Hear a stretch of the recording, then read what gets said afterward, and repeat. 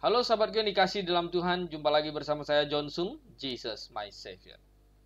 Sahabat yang dikasih dalam Tuhan, beberapa pekan ini kita ya, dihebohkan dengan berita bagaimana konflik terjadi di Israel dan Palestina. Padahal sesungguhnya di Indonesia sendiri ya, radikalisme yang barusan terjadi ya, empat orang lagi dipenggal kepalanya oleh ya, teroris radikal di Poso. Tetapi Indonesia sibuk dengan konflik Israel Palestina. Dan banyak orang tidak mengerti, bahkan sebagian orang Kristen pun ya, mereka mengecap Israel sebagai teroris. Dan ada yang juga yang mengecap Palestina, mengolok-olok Palestina buat video apa segala macam anak SMU di, bisa dikeluarkan dari sekolah dan ada yang ditangkap dimasukkan ke penjara. Sebenarnya negeri ini mau jadi apa kalau begini? Orang berpendapat itu sah-sah saja. Masa orang berpendapat dia bela Israel, ya mengutuk Palestina bisa jadi masalah, bisa masuk penjara. Nah, katanya nanti menimbulkan kegaduhan, undangan ITE, undang-undang ITE bilang, ya ampun, saya bilang berapa banyak sebenarnya orang-orang di Indonesia ini yang menghina Pancasila, ya, yang menghina aparat kepolisian, penegak hukum, ya, yang memaki-maki lebih kasar lagi, ya, pemimpin presiden Republik Indonesia, tapi kok tidak ditangkap? Masa cuma seorang anak muda buat video TikTok begitu dia lalu menjelekkan, mendiskreditkan Palestina lalu ditangkap. Saya bilang ini kacau Indonesia ini. Ini serang sakit kalau begini ya. Tidak benar. Radikalisme kalau begini ini parah kalau begitu. Tidak ada keadilan. Nah di balik semua pro kontra antara Israel dan Palestina saya ingin menjelaskan sejarahnya. Agar orang Kristen paham. Di Facebook saya ada satu nama apa itu. Salah seorang dia bilang oh Israel itu teroris. Udah ada orang Kristen. Ini orang-orang Kristen tidak paham sejarahnya. Nah kita mulai sejarahnya. Saya akan jelaskan dari kisah permulaannya. Terjadinya bangsa Israel. Sahabatku yang dikasih dalam Tuhan, kalau kita misalnya lihat Alkitab dulu, ya, saya selalu ingin ya mengajak kita untuk lihat Alkitab dulu. Kalau kita lihat ini Alkitab dan Kejadian pasal 12 ayat 1 dan 2, ini cikal bakal bagaimana Tuhan memanggil Abraham. Berfirmanlah Tuhan kepada Abraham, Pergilah dari negerimu dan dari sanak saudaramu dan dari rumah bapamu ini ke negeri yang akan kutunjukkan kepadamu. Aku akan membuat engkau menjadi ya, menjadi ya bangsa yang besar dan memberkati engkau serta membuat nama masyur dan engkau akan menjadi berkat. Aku akan memberkati orang-orang yang memberkati engkau dan akan mengutuk orang-orang yang mengutuk engkau dan olehmu semua kaum di muka bumi akan mendapat berkat. Pertanyaannya adalah, apakah hari ini bangsa Israel atau keturunan dari Yahudi itu mempengaruhi dunia dan menjadi berkat, memberikan sumbangsi yang positif kepada bangsa dunia ini? Ya, kita harus akui itu secara fakta dan terbukti ya. Banyak list ya. Orang-orang keturunan Yahudi yang memberikan ya teknologinya ya ya tidak usah disebut lah namanya. Anda akan cek aja di Google lah. Bagaimana orang Yahudi itu ya luar biasa dipakai oleh Tuhan janjinya digenapi. Nah mulai dari siapa? Mulai dari Abraham tadi kan. Jadi kurang lebih tahun 2000 sebelum Masehi sampai dengan 1500 Masehi Abraham Isa ya Abraham punya anak namanya Isa. Ada satu namanya Ismail dari anak budaknya Hagar tetapi Tuhan Allah berfirman ya berurusan dengan Isa. Jadi dari Isa akhirnya melahir dua anak, Esau dan Yakub. Esau ini memang anak sulung, tetapi Esau itu kita lihat dia meremehkan berkat kesulungan itu sehingga dia menjual hak kesulungannya dengan semangkuk kacang merah kepada Yakub. Walaupun akhirnya Yakub itu memang kejadian dapat berkatnya itu adalah dia memakai baju jubah ya yang berbulu-bulu seperti Esau, dia menipu ayahnya. Tetapi kalau dilihat dari satu sisi, Yakub ini percaya akan berkat kesulungan, berkat hak kesulungan itu, sehingga dia rela untuk mendapatkannya itu dengan cara apa pun, sedangkan Esau meremehkannya. Singkat cerita, Yakub akhirnya punya 12 anak. Dari 12 anak inilah 12 suku Israel itu di dilanjutkan ya dari generasi ke generasi. Nah, kemudian kita mengetahui bahwa Yakub kan ya tinggal di kan Kanaan ya. Kalau hari ini itu ya sekitar inilah Palestina, Lebanon, Yordania. Nah, kemudian Yus, Yakub kan mempunyai 12 anak. Satu anak yang namanya Yusuf, ya, anak bungsu itu dijual oleh sanak famili, sanak saudaranya itu ke Mesir, ya, ke seorang yang namanya Potifar. Dibawa ke Mesir, namun Yusuf ini sangat dikasihi oleh penguasa Mesir. Diangkatlah ya menjadi pejabat dan berkuasa. Mempengaruhinya besar, besar sekali. Nah, kemudian ya Yakub dan sanak saudaranya pergi ke Mesir untuk mencari ya minta pertolongan sembako gitulah bahan kebutuhan karena Israel pada waktu itu kesulitan dan Yusuf menolongnya memberikan segalanya pada waktu itulah ya saudara-saudaranya merasa sangat terhibur akan apa yang dilakukan oleh Yusuf.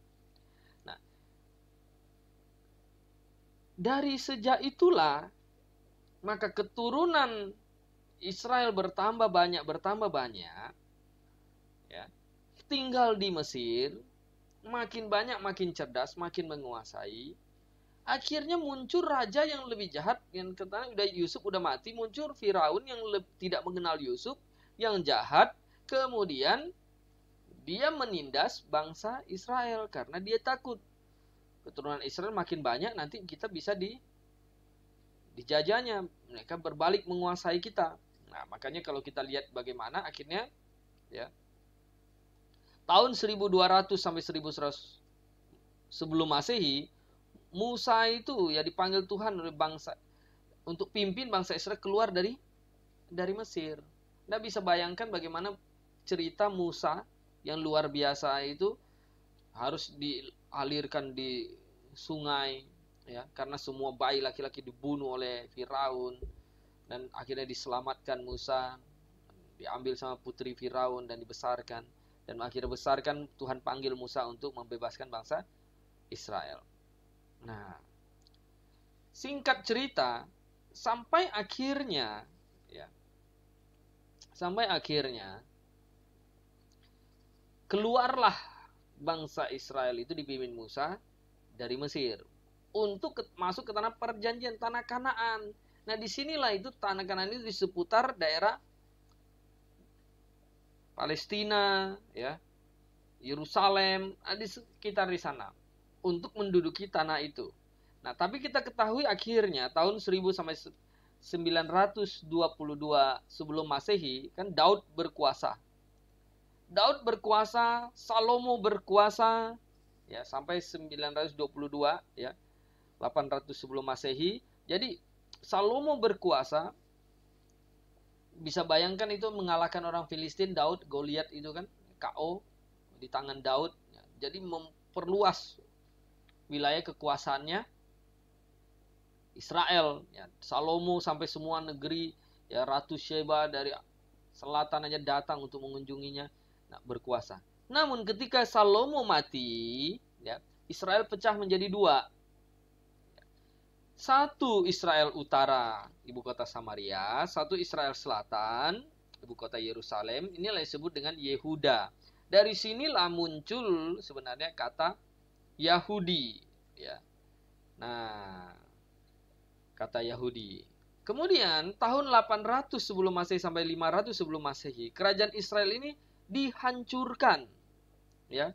Samaria ditaklukkan oleh Assyria, Sedangkan Yehuda ditaklukkan oleh Nebukadnezar, Babiloni, Babilonia.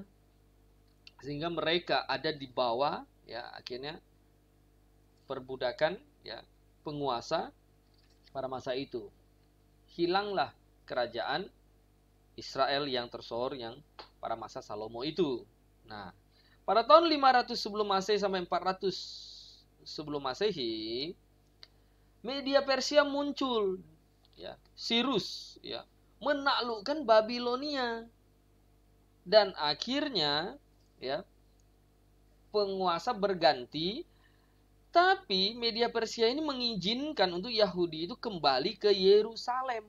Nah, untuk kembali ke Yerusalem untuk uh, ya artinya dulunya mereka itu tersebar ngungsi entah ke mana-mana diaspora tersebar ke mana-mana.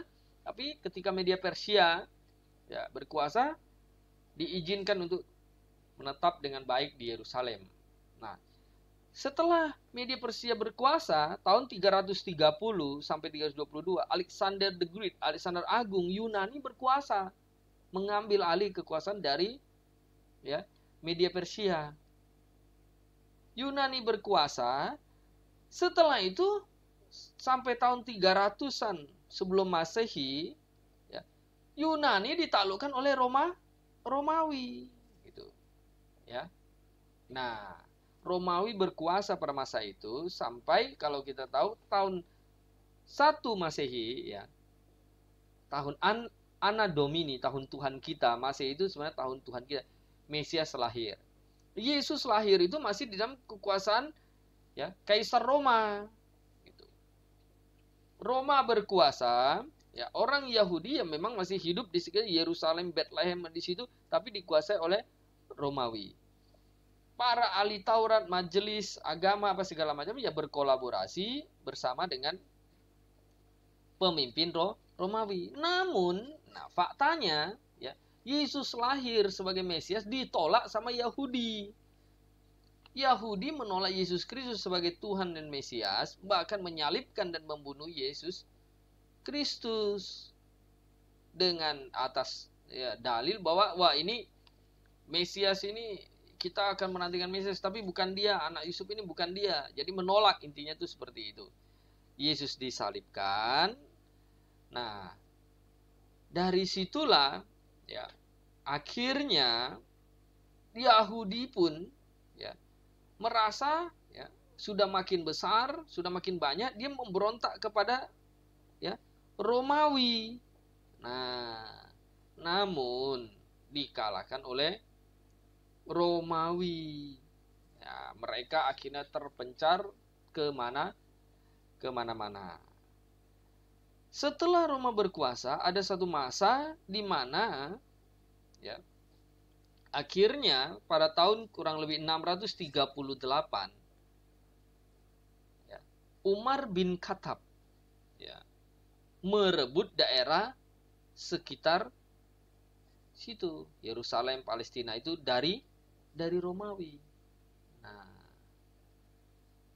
Umar bin Khattab di sana, kemudian dia berdoa di sana, ya sholat di dekat masjid al bait Allah di situ, di situlah akhirnya didirikanlah masjid al Aqsa, begitu.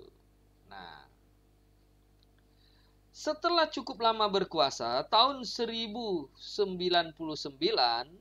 terjadilah perang salib. Ya, tentara salib itu datang ya Inggris dan sekutunya datang untuk menghancurkan kekuasaan dari Umar bin Khattab. Kurang lebih 100 sampai 200 tahun berkuasa ya. 1987 sekitar begitu. Yerusalem Palestina direbut kembali oleh namanya Salahuddin Al-Ayubi. Ya, Saladin dikalahkan tentara salib itu. Ya, direbut kembalilah Yerusalem dan Palestina. Nah, setelah itu berakhir itu kurang lebih 300 tahun berikutnya Turki dengan dinasti Turki Ottomannya berkuasa kembali di Yerusalem Palestina. Ini Yahudi ini udah ya ya jadi rakyat biasa lah tersebar ke mana-mana udah bercampur dengan orang di situ kawin ya segala macam keancaman sudah seperti itu. Nah, namun masih ada sekelompok Yahudi itu yang yang keras pada ininya, pada agama Yahudinya, tidak mau ya sampai tercemar dengan agama lain. Oke. Nah, setelah itu ya sekelompok Yahudi yang punya jiwa ya intinya gini eh, keyahudian yang begitu tinggi mereka ya mendirikan sekolah membeli sebuah sebidang tanah dekat ya Palestina di situ Yerusalem Palestina di situ karena satu daratan di situ dekat ya mendirikan sekolah begitu ya sekolah Yahudi.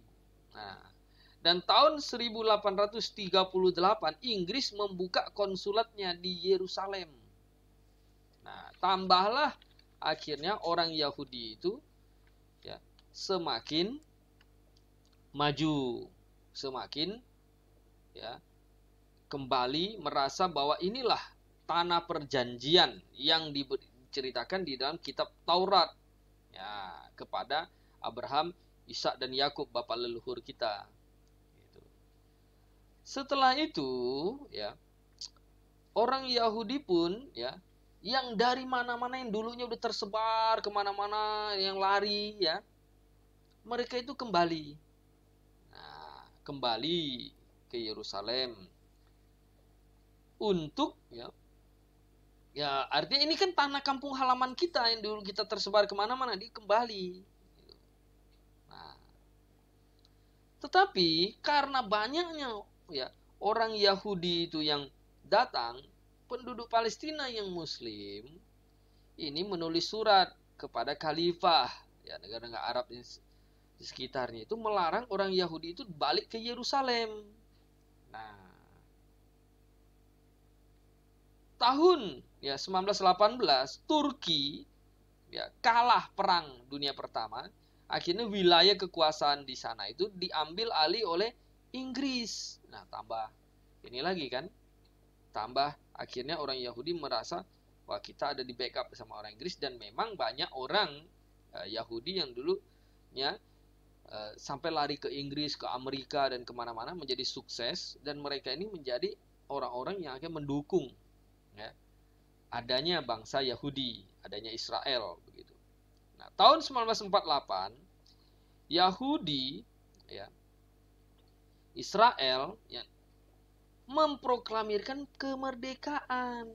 Ya, ada Ben Gurion itu memproklamirkan kemerdekaannya. Langsung ditentang sama negara-negara negara Arab di sekitar di sana. Kurang lebih ada 720 ribu, ya, kira-kira seperti itulah. Ya. Orang Arab Palestina, kemudian mereka mau tinggalkan Israel karena Israel mengumumkan merdeka. Kan? Waktu mereka mau lari di jalur perbatasan di Gaza di sana ya oleh orang-orang Arab itu ditutup. Sehingga mereka tidak bisa nyebrang. Akhirnya buatlah kem-kem pengungsian di jalur Gaza di sana ya. Jadi kurang lebih itu ada 700-an ribu itu. Nah sehingga mereka tinggal di kem-kem di jalur Gaza tahun 1967 Israel itu diserang oleh negara-negara Arab di sekitar. Ya. Kurang lebih ada enam hari peperangan besar-besaran. Israel pada waktu itu baru menyatakan diri merdeka, langsung diserang. Sampai semua ibu-ibu, perempuan-perempuan itu angkat senjata untuk melawan negara-negara Arab di sekitar itu. Ya. Tapi faktanya Israel menang. Nah, akhirnya justru ya tanah Israel itu makin luas kekuasaannya sampai di Sinai, sampai di jalur Gaza, tepi barat, dataran tinggi Golan, dan seterusnya. Nah, sampai hari ini singkat cerita. Ya. Ini sekelompok orang-orang Palestina sendiri ada yang dari kelompok Hamas dan ada kelompok Fatah. Kelompok Fatah ini lebih liberal sedangkan Hamas ini radikal. Hamas inilah ya, yang sering meluncurkan roket yang menembakkan roketnya ke Israel. Israel sudah menjadi negara yang maju. supply listrik, supply apa, segala kedokteran, keda macam Israel lebih canggih. Sedangkan Hamas dengan pimpinnya dengan dalil agama mereka terus menyerang membenci Israel. Padahal supply-nya apa pun ya, apa sih sebenarnya yang sudah dihasilkan oleh Hamas Palestina? Israel justru ya kita melihat bahwa faktanya ya memberikan banyak kontribusi kepada rakyat di Palestina di sana. Fatah itu organ partai politik yang lebih condong mendekat kepada Israel. Nah, sedangkan Hamas radikal. Karena ditembakkan roket ribuan roket pada waktu yang barusan beberapa pekan ini terjadi, ya. Israel memberikan pertahanan yang cukup kuat dengan sistem Iron Dome-nya. Roket berhasil dilancarkan. Tetapi karena saking banyaknya roket, akhirnya ada yang lolos jatuh. Ya, menghancurkan beberapa tempat publik ya, ya. Orang Israel dan mati. Nah, setelah itulah Israel memberi peringatan kepada Hamas dan dibombardirlah wilayah Palestina. Ya, dibombardirlah wilayah-wilayah Palestina dan kita melihat bahwa ya, orang-orang kelompok Hamas itu ya melatih anak-anak kecil apa segala macam ikat kepala untuk teriak-teriak dan menyodorkannya. Jadi kalau nanti terjadi penembakan pembunuhan kan dia hidup ada orang sipil, warga sipil di situ dianggap pelanggaran HAM. Nah, itu problemnya. Jadi sahabatku dikasih dalam Tuhan. Kenapa sekarang pertanyaannya. Orang Israel sekarang ngotot terus sampai hari ini ya. Harus masuk ke Yerusalem menjadi ibu kotanya. Kemudian tempat pendirian bait Allah itu ya. Nanti yang tempat berdirinya Masjid Al-Aqsa itu Israel itu ingin menghancurkannya dicerita mendirikan bait Allah karena meyakini bahwa nanti bait Allah telah berdiri, mereka akan melakukan ibadahnya di sana. Dan tabut perjanjian lembu merah apa semua udah ditemukan dan akan buat ya prosesi upacara ibadah bait Allah itu akan kembali karena orang Israel sekarang ibadahnya ke mana ke tembok ratapan tidak ada nah di situlah dipertahankan oleh kelompok ya Hamas bahwa Masjid itu tidak boleh diganggu. Itu masalahnya di situ muncul. Nah, ya. Karena kelompok Hamas ya Islam Hamas ini juga berpikir bahwa justru nanti yang akan datang itu si Dajjal gitu. Sedangkan orang Israel menganggap yang datang itu nanti Mesias. Nah, orang Kristen dua-duanya tidak percaya itu artinya gini, gini orang Kristen justru bukan tidak mendukung Israel dalam hal iman beda imannya bahwa yang datang itu bukan Mesias yang datang itu nanti antikristus yang akan justru ya duduk di bait Allah minta disembah sebagai Allah Jehovah jadi nanti nubuat di dalam Alkitab itu begini. Muncul satu orang yang super jenius antikristus dia akan membackup ya Israel untuk membangun bait Allah itu. Nah, ada beberapa kemungkinan. Bisa saja didirikan bait Allah di sampingnya sehingga ibadahnya digabungkan bersama-sama karena udah menjadi sebuah ini uh, ya semua samalah semua ini nah eh, kompromi akhirnya bisa saja nanti masjid itu dihancurkan kemudian didirikan ya bait Allah di backup oleh seorang yang super power menguasai dunia ini yang dikontrol di bawah satu kontrol. Israel pikir dia inilah Mesias. Tapi setelah berdiri, dia ingin duduk di bait Allah minta disembah. Pada waktu itulah Israel akan menolak. Wah ini tidak benar. Kita hanya menyembah kepada Allah Jehovah. Satu-satunya Allah. Tidak boleh kita menyembah kepada manusia. Pada waktu itu Israel menolak terjadilah penganiayaan. Itulah namanya tribulation penganiayaan selama tujuh tahun di masa antikristus ber, berkuasa. Semua orang tidak dapat membeli, tidak dapat menjual di bawah kontrol antikristus, bahkan semua akan dibunuh jika melawan dia. Nah, cerita ini akan berakhir sampai kapan? Nih sampai nanti kedatangan Tuhan Yesus Kristus. Lalu bagaimana nasib orang Kristen? Orang Kristen akan diangkat sebelum munculnya antikris antikristus. Sudah akan angkat dulu ke sorga. Jadi sahabat kan dikasih dalam Tuhan. Kalau kita melihat sejarah ini, betapa sudah sangat dekat kedatangan Tuhan Yesus Kristus untuk menjemput orang yang percaya naik ke surga. Naik ke surga. Setelah itu baru antikristus akan duduk di badan Allah, berkuasa atas dunia ini dan terjadi penganiayaan besar-besaran di dunia ini. Sahabatku dikasih dalam Tuhan. Secara iman saya bukan iman Yahudi. Ya. Saya berbeda. Nah, tetapi kalau lihat di dalam Alkitab, faktanya memang Israel adalah bangsa yang ya, Tuhan pakai, Tuhan pilih. Nah, dari keturunannya lahirlah nabi-nabi dan me Mesias. Kisah selanjutnya, ya kita lihat saja. Tapi saya yakin Alkitab itu benar. Nah, hari ini seperti bangsa Indonesia, sebenarnya tidak perlu terlalu lebay, terlalu ya merasa oh kalau orang membela Israel berarti dia Zionis harus dihabisin. Ya kita kan harus ada kemanusiaan apa pun agamamu. Kalau berhubungan dengan kejahatan, genocide, pembunuhan, kita tidak setuju peperangan kita tidak setuju sebenarnya berperangan tapi mereka mau begitu ya bagaimana kita bisa apa ya kita berdoa saja apa pun yang terjadi